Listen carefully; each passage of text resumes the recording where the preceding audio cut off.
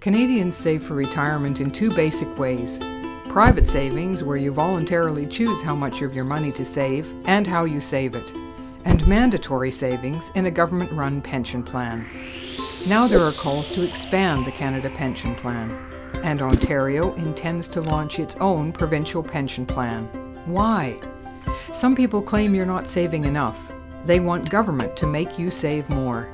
But in the past, when mandatory CPP contributions went up, the private savings rate of Canadian households went down.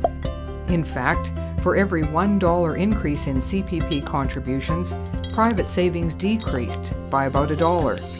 We didn't necessarily save more, we just saved differently. While more money went into government savings, we put less into private voluntary savings.